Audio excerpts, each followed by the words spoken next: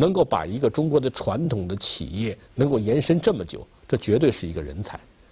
而他之所以能够把这个企业做得好，是因为他认识到了现代化的威力。那么他就要把全家从山西迁到天津，为的是什么？为的是能够跟近代化的这种潮流相结合。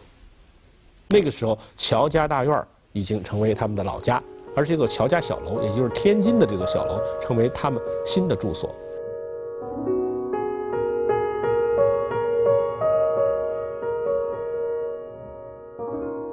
距离张学良故居博物馆仅几墙之隔的，就是乔家曾经在天津的居所，被称为天津的乔家大院。二十世纪二十年代初，乔映霞亲自督建乔家小楼，随后携家人移居至此。细看乔家小楼与张学良故居博物馆建筑风格十分相似，两座建筑同为砖木结构、欧式风格，不知是否因互相毗邻的关系？据说。乔映霞的儿子乔铁汉与张学良也是网球球友。这乔家呀，我们一想，肯定觉得那应该是至少觉得山西土财主的这种感觉，不是的。人家到了天津就开始学一些现代化的金融的呃知识，所以他们的钱庄呢才能够在当时那么纷乱的政治环境下继续生存下去。甚至这位掌门人就是这位乔映霞，他自己本人呢也在天津呢。谈起恋爱来了，他当时娶了一个呃，也是新式学堂毕业的这样的一个女子，两个人婚后呢，当然还是会有一点不太能够协调，因为他毕竟是一个从那种环境里面出来的，这也反映了天津当时的这种特点，就是一方面是传统的，一方面是新式的，两个之间会发生各种博弈。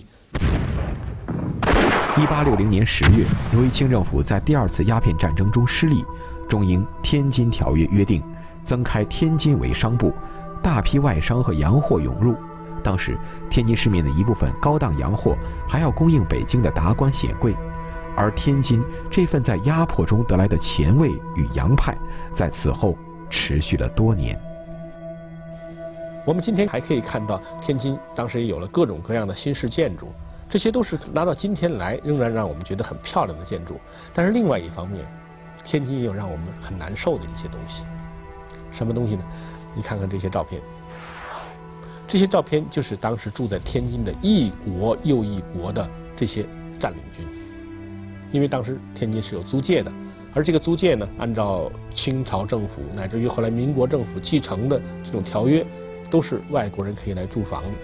那么来住房的有什么人？我们刚才看到有俄国的军队，有日本军队，有英国的，有荷兰的，有比利时的。各国的军队都驻扎在天津，而我们中国的军队呢就被挤在一边，简直就像是一个，呃，只不过是维持地方治安的警察而已。从这些照片你可以看到，中国在当时所谓积贫积弱，在天津也有着很深刻的反应。